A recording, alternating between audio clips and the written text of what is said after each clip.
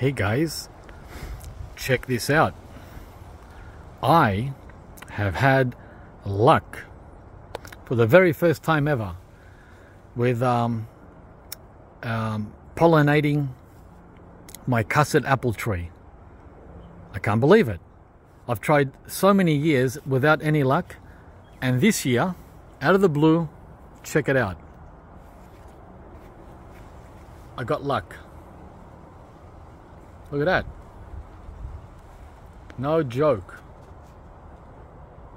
We've got a Paxton Prolific, Atemoya Custard Apple. Nice, huh? I'm putting it down to the ridiculously wet and uh, humid summer that we've had, unlike any other. It can't be any other reason why the pollen worked and didn't work in past years. That's all I can think of, guys. Our abnormal summers. And I haven't had only one, but here's another one too. And over here, three.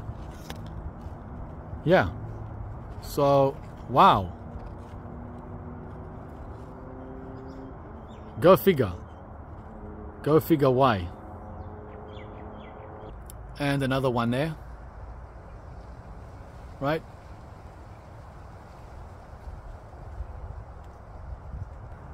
And it looks like another one there. So, there's about five or six. Mm, I'm wrong. There's another one there. And another one there. There's eight. Ah, and now when I looked again, there's another one, nine. So almost 10 successful um, takes on the custard apple on the last day of January. Never seen this before in 10 years. They always take at the end of February, at the very end of summer, and early March. Never seen um, any take up in January. So I want to thank uh, Elisa for the inspiration. I saw her um, pollinating her Paxton Prolific, and I think she got around 10 as well. So when I saw her video, I thought, hmm, let me go out here and and try. And after three days, guys, after three days, I got 10 out of 20. Half of the um, half of the flowers I pollinated took. Unbelievable.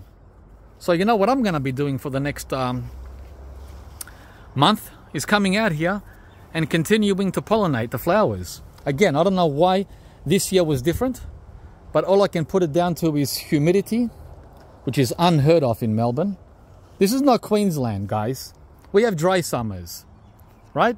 Just think of Arizona and uh, you have Melbourne. We have dry summers, not wet. So that's the only change that we've had in the last 10 years. So humidity means stickiness. The pollen is sticking, right? Whereas in the past years, when it's dry, the, the pollen just falls off. It falls off as soon as you apply it. That's all I can put it down to. Thanks for watching. I'm excited. And by the way, the Cherimoya Tafino de Jete, that also was successful. I think I got around 10 that took on that tree as well, but I'll do that on another video. Bye guys.